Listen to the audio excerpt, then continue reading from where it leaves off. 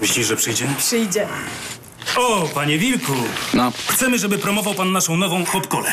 Co? To po to mnie tu wezwaliście? Spłacimy wszystkie pana długi.